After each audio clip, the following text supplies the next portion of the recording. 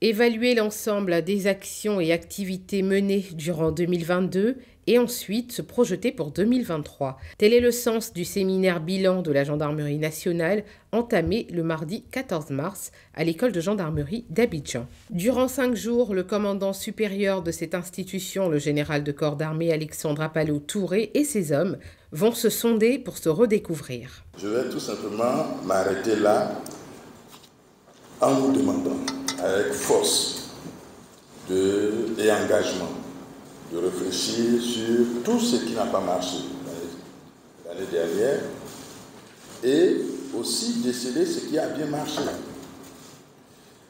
Et ensuite de réfléchir sur la nouvelle dynamique, celle qui va booster encore l'action de la nationale. Des conférences inaugurales animées par le préfet d'Abidjan, le procureur général et un chef traditionnel ont meublé la première journée de cette rencontre. Le séminaire bilan de l'année écoulée est un cadre de réflexion rétrospective institué depuis 2020 au niveau de la marée chaussée.